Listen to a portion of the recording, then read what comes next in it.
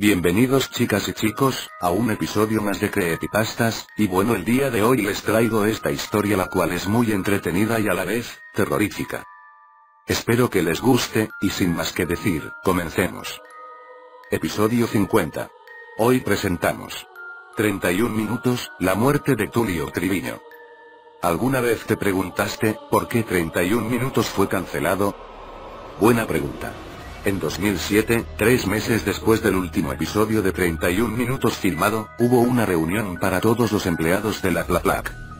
El presidente de Aplaplac invitó a todos los empleados para ver el último episodio de 31 minutos.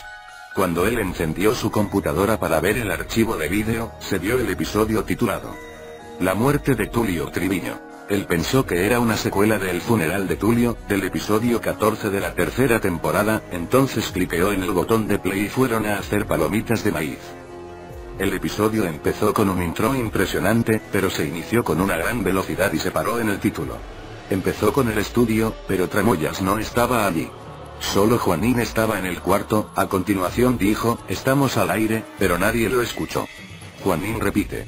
Estamos al aire diez veces hasta que finalmente Tulio entró y le dijo a todo el mundo que lo perdonara por llegar tarde, pero Tulio lo dice con una voz demoníaca.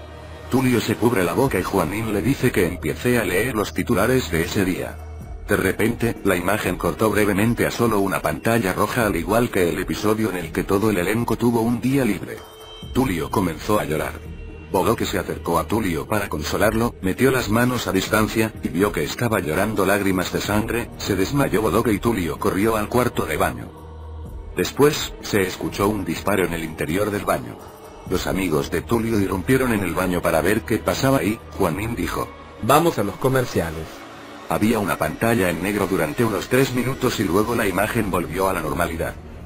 El resto del elenco estaba llorando sobre lo que le pasó a Tulio. El sonido estaba lleno de extraños gritos y lamentos.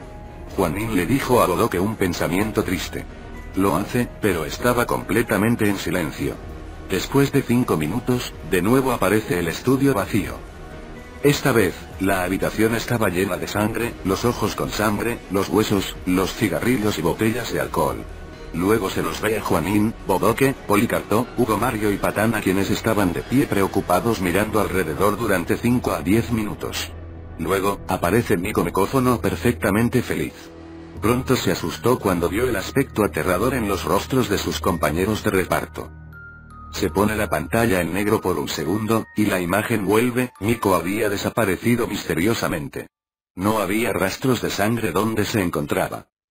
Dos minutos y treinta segundos más tarde se corta a una imagen de Guaripolo, pero estaba horriblemente mutilado. La mano de Guaripolo aparece esquelética, su piel estaba cubierta de sangre, el cráneo se reventó por lo que su cerebro estaba expuesto, sus ojos habían desaparecido, y su estómago estaba a cielo abierto y sangrado. La imagen de pronto volvió a la normalidad. Luego, cambia a una escena en la que Tulio tenía una pistola en la boca. Había sangre por las paredes detrás de él. La cabeza de Tulio aparecía arrancada, y la sangre brotaba de su cuello. La palabra fin apareció. Dos minutos más tarde, aparecen el tema de cierre y los créditos en marcha. Luego estaba el logotipo de Aplaplac, pero el nombre de Carlitos Lechuga fue manchado con sangre. Por último, mostró la advertencia contra cualquier semejanza con personas vivas o muertas.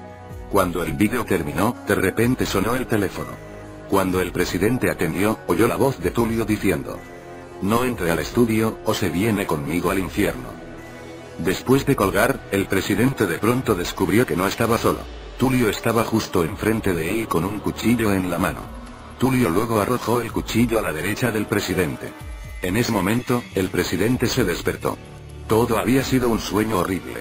Sin embargo, al día siguiente, les dijo a todos que salgan, como 31 minutos fue cancelada ahora. Él había estado murmurando algo sobre el último episodio con la muerte de Tulio, y que se había hecho con un cadáver real. Nada más sucedió después de eso.